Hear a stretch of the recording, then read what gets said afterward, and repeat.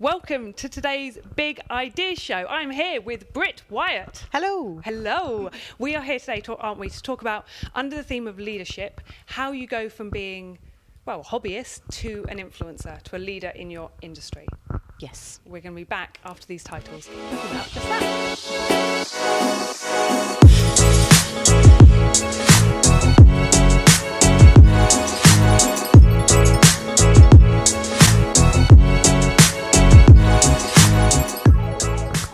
Welcome to the hot seat. Thank you very much for having me. It's great to have you on. Um, hot off your TEDx Folkestone talk Yes. a few weeks back, um, and it's great to get the opportunity to talk to you a little bit more in depth about the other bits you do. Yes. Because you you touch briefly, don't you, on your talk about what you do, but it's not the kind of main message behind it, is it? No, no. So that's why I wanted to hear a little bit more because there's a lot you do, isn't there? There is. It's hard to, to just put a finger on it, to be honest. Yeah. But yes, no. There's lots of lots of different facets to uh, to my day to day life. Okay. do you want to give us a very brief overview of kind of what you do, how you describe yourself? Know, Yeah. In a, I was going to say in a tweet, but maybe that's a bit mean. That's a bit hard. in 100, I was it not 180? It's not 180 characters anymore, is it? It's Something else, but yeah. 255, I think. Um, I am a writer. Mm-hmm. Um, I am a baker. I'm a blogger. Um, I what else? I don't really know. It's it's really difficult. It's like everything I do revolves around um, my blog and ha- from ha- comes from having my blog, but it's not all specifically blogging. Mm-hmm. Yeah. Um, as well, I also um, do blogging consultations with people who have small to medium businesses, Mm-hmm. and I provide one-on-one um, sort of tuition to help them come up with blogs to enhance their digital marketing. I also teach blogging workshops. I also Mm-hmm. Yeah. teach cake decorating workshops. Yeah. I also write for cake magazines. Uh, I'm an author of my own book um, and do lots of other bits as well. And I write recipes for brands and corporations. So literally every day is different, and I love that because I have a very short attention span. so I need I need the variety. Yeah. Um, but it all kind of falls under the the She Who Bakes umbrella, basically. Okay. Yeah, awesome. So, I guess when we get into our conversation, I, you've got almost two hats. You influencer in two camps. A, in the baking, Yeah. but B, also influencing people in how to do what you've done, which is take that idea from something that you you started because you enjoyed it, Yeah. and then turned it into a profession and something that you can do every day. yeah, yeah, something like that. Yeah. Okay. But before we go into any of that, we're going to go for the fun bit, which is the quick fire questions. Okay, I'm, I'm gonna throw these I don't know how good I, I'm going to be at this, but okay, yeah. Yeah, you could if if you really don't know, because sometimes my quick fire questions are a bit random. Okay. Okay. Uh, first animal that comes to mind when I say leader. Lion, Good. uh, most important quality in a leader. listening. I'm not. I'm not purposely giving all these L's, by the way. It's just. Uh, you set like- standard. Everything's got to begin with an L now. Yeah, yeah, yeah. You set yourself a hard challenge. Okay. First leader in history that comes to mind. Steve Jobs, which I know he's not, but that's just, I just because I can see your Apple computer from here. Looking for him for Yeah, no, I know, around the room. Okay. Uh, most inspiring leader you've had, like personally, who's led you. Um, my fiance Tim, hundred percent. very sweet. Yeah, with he's one of the most inspiring people I've ever met. Oh, we said we get him in somehow, didn't we? yeah. Thankfully, it's not him kind of like butting in. It's in Well, a positive way. I kind of think with with a leader, it's kind of the person who can help you be better, and he Mm. makes me a better person. awesome. That's Yeah. really cool. Oh. We'll, have to, we'll have to get him in at the end. Yeah, yeah. quick- Say hello. okay. Uh, what would your Braveheart war cry be? Oh, probably it's really like a. Shakira song. What, just Shakira? yeah, Shakira, Shakira. That would be it. Just me shouting Shakira, Shakira. Well, there was the football one that she does, which is like wacka wacka, wacka Whack, wacka, eh, eh. eh, eh. Yeah, we're not doing it justice, but yeah, it's a good song. And this is the first Um, time we've I've sung on this show. Sorry. yeah, probably probably just shouting Shakira on a field somewhere. That's what I would do. Because it would confuse the enemy, It would. and then if you confuse people, you're more likely to, to get around them. yeah. I think. they'd go where? Where, where is she? Yeah, exactly. Ah, mm. hmm. Ha ha. Okay. lead from the back or lead from the front? Lead from the back. Only because a diagram is coming to my mind from. Um, it's like a diagram of these animals like going through the the thing, and like the leader is always at the back to make sure that nobody gets left behind. Is it the walls? It might be the wolves. yes. Yes. I think I yeah, yeah. Yes. So Yeah. that's the first thing that came to mind when you said that. Okay, cool. Uh, biggest leadership challenge. Not turning into a dictator.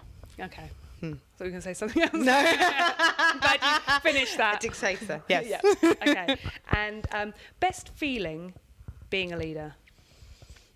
Success, I would say, Yeah. because if you if you lead people into good things, then it's success for them, which makes success for you. Success all around. Awesome. I like it. There we go. We survived the quick fire question. Yes, and they didn't all begin with L, so that's Right. Sorry, we're doing them again. That, that's not the rules. It's got to be out now. amazing. Okay. Right. Let's go into um, your story a bit, shall we? Okay. Can you tell me, for those that don't know, Yes. kind of, yeah, where did you go from, how did you go from being you doing it? Yeah. And I guess those will say, we'll preclude this with watch the TEDx talk, and then you'll Watch see my TEDx talk. how you got to the stage of starting Yes. the baking. Mm. But it was, if we start from there, Yeah. to then becoming the influencer that you are. Okay. Um, well, obviously, the sort of my, my uh, very Marvel comic book origin story is in is in my TEDx talk, if you will. But once I'd started the baking, um, I just I really enjoyed it, and it made me feel good. So I wanted to keep doing it, and I wanted to keep keep baking, and. I was just using packet mixes at the time because I didn't know what I was doing. Um, so then once I'd started using like actual recipes um, and coming up with my own sort of things, I was writing about it constantly because I, first and foremost, am a writer and a blogger. I always have been. And my original blog, that was just a lifestyle blog, was called Fortune Sides with She Who Dares. Yeah. So when I started baking, it didn't take a large leap of the imagination to call it She Who Bakes. And um, so I was writing about it alongside it. Yeah. And people. What were you writing? I was writing about how someone who doesn't know how to bake is starting to learn how to bake. Okay. Um, and, I was. Was that for you or was that? It was for 100% blog? for me. It was 100% for me. Like my blog was private for the first year of its existence. Yeah. Um, and then when I made it public, I remember being really excited that I got my third follower. Oh. Um, and like one of them was the, the one that they give you when you set up the when you set up the blog. And I was like, oh my god, there's there's actually people out there reading what I do. Yeah. And then I started uh, like a Facebook page to go alongside it to obviously have a way to promote the, the blogs that I was writing. And I was I was writing things like I was just reviewing things. So I reviewed a packet mix. Mm-hmm. I reviewed. Um, a type of icing from Yeah. from a well-known supermarket and I was just writing about it on my blog and posting it on a Facebook page that didn't really have a lot of people on it. And then the review I did of the icing that was from a supermarket, I tweeted my blog to them because I was like, well, they might like to know it, what a, an actual home baker thinks of it rather than just the people they get to product test it. Um, and they then replied to me a few days later asking if I'd like to be one of their official food bloggers. Nice. Um, yeah, and I remember it, and it was amazing. And I was like, "Oh my god, yes!" And that what that entailed really was going to their food events that were twice a year, writing about them, and every so often getting sent um, like gift cards to make something with a product that they wanted to promote Yeah. basically. Um, and I was, I just felt really excited because I was like, it felt to me like people were actually interested in what I had to say, which was which was mad for me. I was like, oh my god! And then I'll never forget the first time that I went to an event. It was one of their food events, and I had a like a press pass, Amazing. and. People wanted to talk to me um, and wanted to hear my opinion because I had this little special badge on, and and I was so excited. And that was like the first like major thing that I did, and I was like, oh my god, this is great. Yeah. So I just I kept doing that. I kept writing about things, and at the time I was making commission cakes for people. So I was making like birthday cakes and christening cakes, and what I was doing is whenever I was making them, if I was doing something different, I would take step by step photos and turn them into like a little tutorial Yeah. um, because I was teaching myself as well at the end of the day, and I kind of thought. You see all of these blogs and you see all of these magazines of these people who are like perfect and amazing and everything, not unlike women's magazines, like in that respect, but you don't ever see sort of the real side of it. Yeah. So I would write about everything. I'd write about everything I'd messed up. Mm-hmm. I'd write about every time I tried something and it didn't work. Um, and I would also write about the times when I tried stuff and it did work, you know. So Yeah. Mm. I was, I just kept it very real. And I think that's what people were interested in Yep. because there are so many people that mess things up and think, well, oh, this obviously isn't for me. Then this, I, I won't do this anymore because I, I messed up. This obviously wasn't for me. So I wanted to just be as real as I could be because that's kind of who I am, and that's what my mm. lifestyle blog was about. It was about just getting by day to day, you know. Whereas this time it had like a point to it, if that makes Yeah. sense. And I would make these tutorials and I would post them, and then the more I was doing, and then I started creating my own recipes, and they went on there as well, and that was just all trial by error. I assume, uh, you know, I assure you. Were there some awesomely awful ones on there? God, yeah, there's some there's some pictures on there that are fun, that are good, um, and just the more I wrote about it, the more people were interested in it, mm-hmm. and then my Facebook page sort of started to grow, my readership started to grow, mm-hmm. and then because I was then getting the numbers of the audience behind me, I then had more brands contacting me and Yeah. magazines contacting me, asking me to work with them, and then it kind of snowballed, and then I had to stop taking commission cake orders in 2015 mm-hmm. because the other side of it basically took over. Yeah. Um, and then that's when I started teaching cake decorating classes, and it mm. just just kind of snowballed. Yeah. Really, but just from constantly doing it and not stopping or giving up. Like I do see people for, for blogging now, and I will only see people really who who are blogging for business. So who aren't the people I was when I started because I was just blogging as a hobby. Um, but it's it's that thing. You know, people say to me, "Well, how did you make it a job?" It's like because I worked really hard at it for a really Yeah. long time. So what? was- So guys, what was the? T- you said you were doing it for a year before you actually published anything. Yes. So what's the timescale and how much did you work on it? Like as an approximation of how much your day or week you spent on it. To give so people an idea. yeah, so I, I I first published it in January 2013. I'd been writing it for like a year before that, but Mm-hmm. Yeah. I, I published it in January 2013, and I was doing at least one to two blogs a week, Mm-hmm. um, and was sort of like planning everything around those, all while sort of doing a full time job and, and, and doing everything else as well, um, and just and just writing a lot. Yeah. Just, just constantly writing. Basically, Yeah. everything was an idea for an for a blog. You know, it was all kind of, well, how can I turn that into a blog post? Yeah. And it was, and I just kept doing it. So, and then so that's January 2013, and the first when I got my first press pass for something, that was kind of late in 2014. Mm-hmm. So I was doing it for a good, essentially three years before anyone Noticed what I was Yeah. doing. Really, Yeah. So how many blog posts would you did you have up before that company, the supermarket, went? Actually, will you do some more? you must have had a good weight Yeah, behind probably- you probably- to be able to. probably about maybe 60 I Yeah. don't know, but each each post because it was slightly different to how I do it now. Mm-hmm. It was um, some posts were just pictures of cake I'd made, cakes I'd made that week. You Yeah. know, with a bit of a description about what I'd made that week. Yeah. Um, but yeah, so quite a lot. Yeah. really. And how did it? I guess once you reach that point where it just tips over and. Like you did, you get that first thing, and then the audience starts to build, and because the audience is building more people, it's easier for them to get on board, as Yep. it were, because they're like, "Oh, she must be someone who knows what she's talking about." How was it for you? How that- wrong they are. You'll be fooled by now. um, but that period before, where you knew you wanted to do it, Mm. but before you knew if it was going to be anything, or essentially whether it was going to work in a that you could make something of it. I was kind of forced into it through redundancy though, and it was just uh, it was a good few years, you know, of just hard graft, really, of sort of making it a thing, and that's why I think it's really good to do something that's the same. Um, industry alongside it so obviously i was making cakes for people so that was kind of that was my job Yeah. and then i was blogging about making cakes for people and then it just got to the point where the blog took over Yeah. um, so I had so something had to give. Yeah. Because like making a cake, people don't realise how long it takes.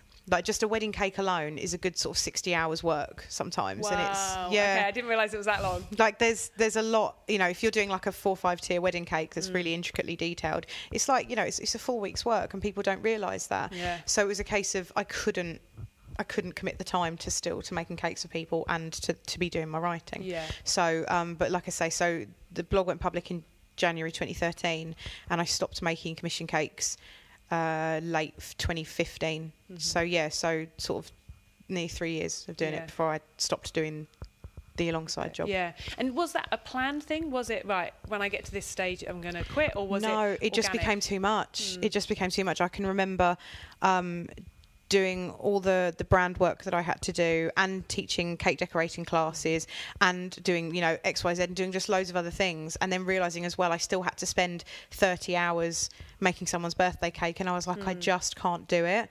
It just the time it took compared to sort of the other things I had to do, it just became sort of less of a priority. And also, I started to enjoy it slightly less Mm-hmm. because when it's that thing, isn't it? Something's really, really fun, and then you're, you're doing it all the time, every day, and it just kind of sometimes becomes a little bit monotonous. Mm. Yeah. Um, so I just had to have a break from it. Yeah.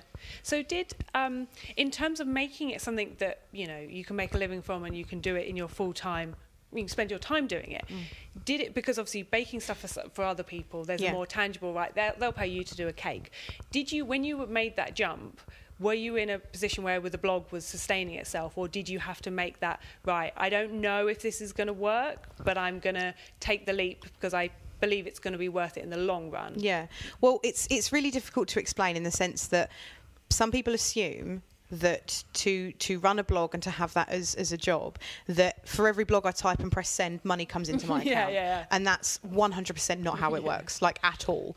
Yes you can have advertisement on your website. I personally don't have any sort of adverts or like roller banners or anything on my website because I don't like how they look. Yep. so what mine is is it's through um, ad, like sponsor, sponsored ads like sponsored partnerships Yeah. um, and then obviously writing for other people and things like that. But it all comes through my blog, so I wouldn't have any of it if it wasn't for the blog itself. Yeah. But blogging doesn't make you money. Do you know what I mean? You mm. have to have all of the stuff to back you up. Yeah. Which is why.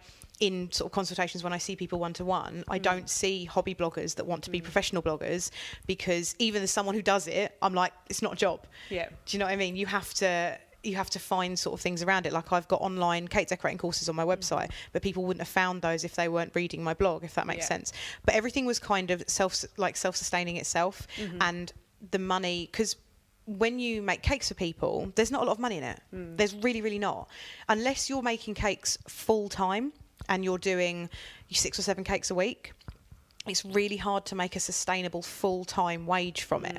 So, considering I wasn't making seven cakes a week because I was so busy, I was m- maximum doing one, and it was kind of taking more time for less money. So, everything else had already started to take over, and, and the cakes were just kind of an extra thing I was doing. Um, but, like I say, they were the they were the thing that took the most amount of time and gave me the sort of almost least amount of revenue. So, that was the thing that had to go. Yeah. Um, but if I when I was when I was doing them full time and doing sort of seven cakes a week or doing a couple of wedding cakes a month, mm. yeah, you can you can make a, a great living from it. But I just didn't have the time to commit to it, mm. and it was kind of I had to decide what I wanted to do, Yeah. more of the writing or commission cakes for people. Yeah. So I chose the writing. Yeah. Yeah. Good. Okay. And okay, so let's go to, back to kind of the becoming an influencer. I hate that word I so know. much. and we couldn't think of a better word. No, no. because everyone knows what that means. But I, I get what you mean about it Yeah. because you're doing you're doing it because it's always been a passion, right? Rather yeah, than I'm doing it because it's fun and because I like it, Mm. and um, yeah, I think because there's a lot of people that the word just gets banded about Yeah. quite a lot. Don't get me wrong. When I was when I was starting out and when I kind of thought, you know, uh, the term a key person of influence was something I knew of sort of in networking and, Mm-hmm. and when I would hear people talk and listen to TED talks and stuff like that, it's something I would hear a lot. And that's obviously now just over the years been sort of shortened and shortened and shortened to just become influencer. Mm. And it's it's one of those things. It's I don't really know what it means. I think that's the that's the main problem. It's like, okay, Yeah. influencing what? Influencing who? Like mm. I think I write about I write about things that I'm passionate about. I won't write about things that I'm not. I've had I get I get so many people and brands and companies approach me and say, "Right, can you promote this? Can you promote this?" But if it's something I don't actually use in my day-to-day life, I mm. won't promote it. Mm. Whereas I think that's where the line is. So there are people that that will call themselves influencers and will take sort of every sponsored ad. And you know, cool, by all means, you know, live your best life. I'm not here to criticize anyone. You do what you want to do. But that's why I don't necessarily see myself in that way. I just see me as someone who um, just does just is living. Like I don't it's like there are there are certain words and phrases that people have said to me that not make me sort not make me cringe a little bit, but it's just it's like that. Oh, because it's like, and it's only because I think, well, no, I'm not. I'm just I'm just a normal girl, just trying to have a bit of fun. so I don't know, but yes, it is a term that everyone knows, Yeah. and it is kind of Well, also, surely it makes you, I don't know, from whatever the core of that word that we really mean, rather than what it's become Yeah. to mean. Surely you, that makes you more of it because you, for me, the word influencer just means. I think some people see it as you you influence people, but Mm. I see it as no, you you have an audience that you've created and you influence them and almost you you have influence over a big group of people because Yeah. you've built an audience that trust you because you don't shove Yeah, yeah. products in their face that Yeah, don't relate. You only give them stuff that you would use, therefore you think they might use. Yeah, yeah.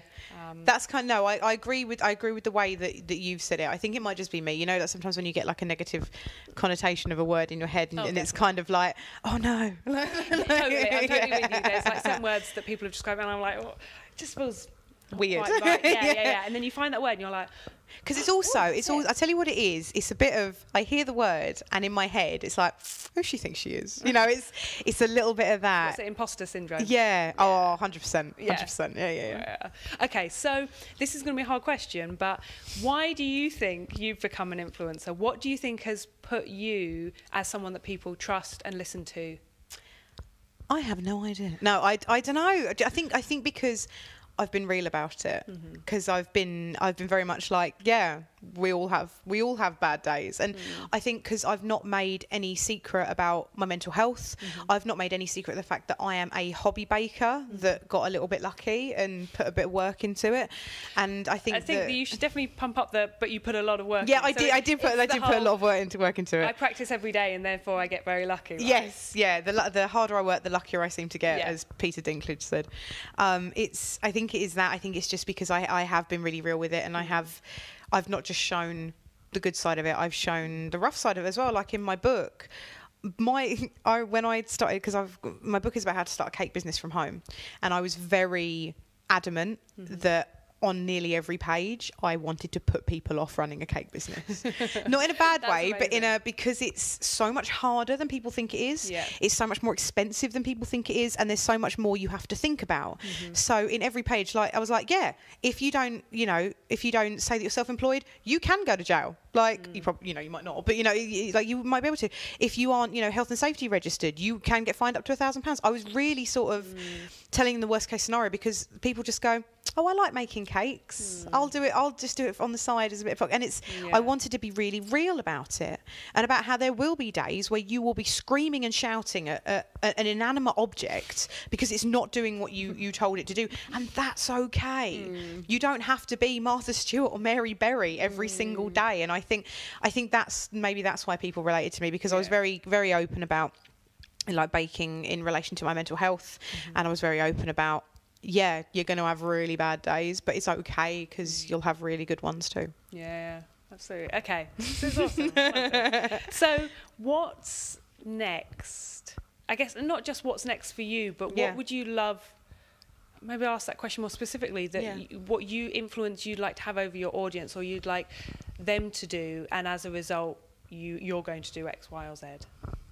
i don't know i mean to be honest i've spent half of this year building up to my tedx talk and i haven't really Sorry about that. i haven't and i haven't it was fun but but very stressful and i hadn't really thought past that Okay. and i'm getting married in five weeks So I'm also very much like, oh, there's something happening after September. Oh, I don't. It's kind of this year has been a bit like that. I had TEDx and I had my 30th and I had uh, uh, a, a show I was doing in June, so I couldn't think past that. Once I got past that, I had a little bit of breathing space in mm. July, and then all of this month I'm just thinking about the wedding. So I'm kind of a bit like, until I get to the end of this year, Yeah. I've no idea. I'm just coasting now.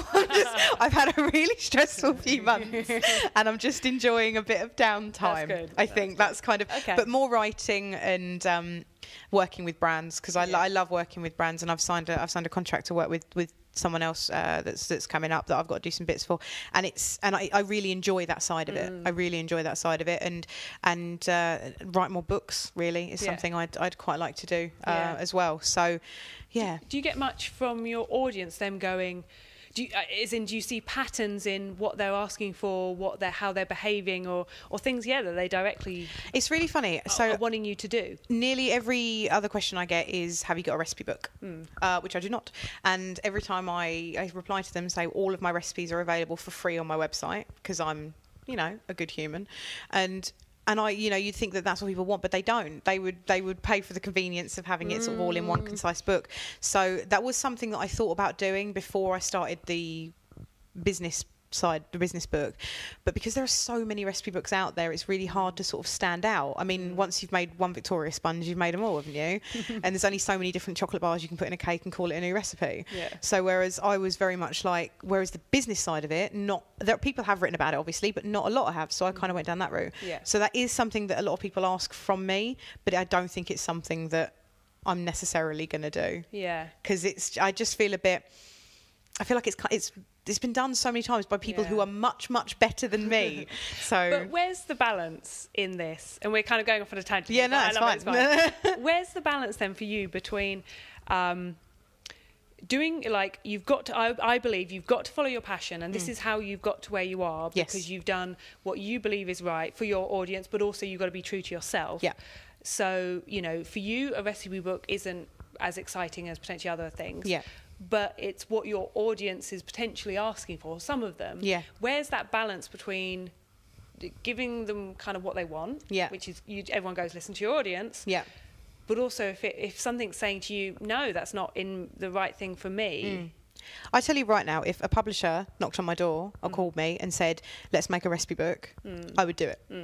But I'm not gonna do it myself. Yeah, I'm not. I'm not. Well, yeah, I'm not gonna. I'm not gonna self-publish one. Yeah. If if a company wanted to work with me and wanted to, you know, wanted to make a recipe book, and because you know the audience is out there for it, then then I'd jump on it. I'd be Mm. Yeah. like, "Yep, cool, let's do it." But I wouldn't, like I say, necessarily make one myself Okay. because my my book about business started out as an ebook Mm-hmm. that I wrote, I edited, I made into a PDF document, and I put on my website. Mm-hmm. And then a publishing company said. Do you want to make that into a real book? And I was like, yes. So I hid myself away for three months, and I wrote, and wrote, wrote, and I put my soul in those pages, and I'm really, really proud of it.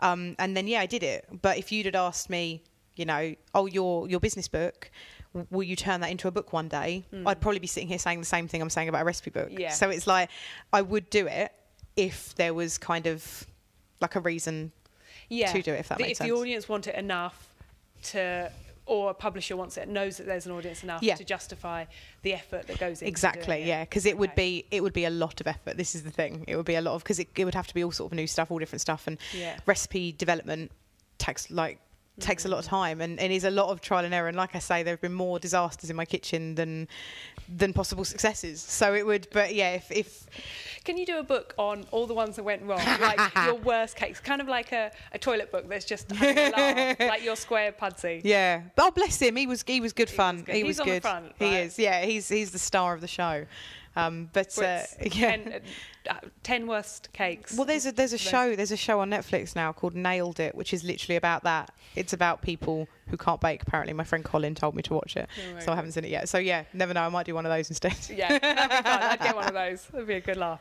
But it's been absolutely awesome chatting. I'm going to have to wrap it up because Yes. otherwise we're No, I know, I know. I do apologise. No, no, no. It's been great. Um, final time, if people don't know about your blog, where can Yes. they find out about you online, blog, social, the whole lot? You can find me at uh, my website shewhobakes.co.uk or put She Who Bakes into either Instagram, um, Facebook, or Twitter, and you will find me. I'm on LinkedIn, but I don't check it very much, so don't look there.